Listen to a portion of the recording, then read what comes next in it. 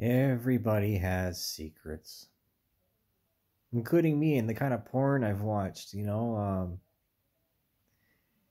some confusion there, absolutely. Um, but the beast, the beast is, you know, a lot stronger than what you think it is.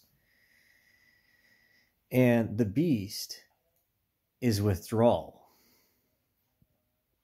You see, most violent criminals are only violent because they're coming off of some sort of drug. Or, you know, because, uh, you know, violent behavior is only stimulated and caused by external influence. The body only seeks to defend itself if threatened. It's not like we send white blood cells out into the open. Makes sense, doesn't it? Here's the other part. You know, I have personal experience with, you know, I, I, I if I'm going to be arrogant and delusional, I'll say that I'm one of the missing pieces of this entire puzzle. At least in this area within London, um, to figure out exactly what's going on with the mental health state.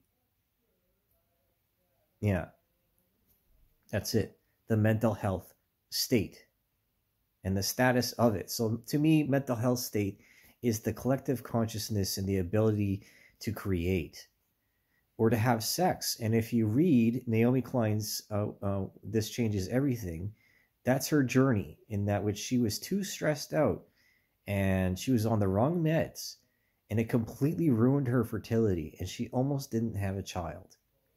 So I need not say anything more. And my generation, especially women, are in the they're hitting the wall, right? They're in the age range between 29 and 37, 38, like me on the top end. And women are, are lose half their eggs by the age of 35. It's it's just you know that's the way of nature, because there has to be some sort of sacrifice in the chemical exchange.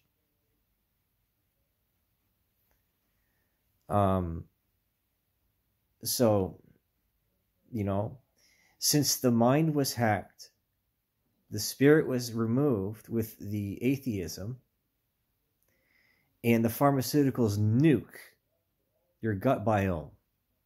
100% they nuke your gut biome, especially uh, methamphetamine or Adderall. Um, they ruin your stomach lining and they give you a sense of euphoria which is a false prophet because at the end, you know, then you're a meth addicted student, okay? Um, mixed with antidepressants, which puts you in a disassociative state and you don't know what love is anymore. But there's recovery, there's hope for this. And trust me, um, you know, um, I again personally, just by my life, it's it's amazing what happens when you just let it happen and you take time to breathe and don't act out in anger because I don't act out in anger. I act because I know something. And evil persists when good men do nothing. We're all in this together, whether we like it or not.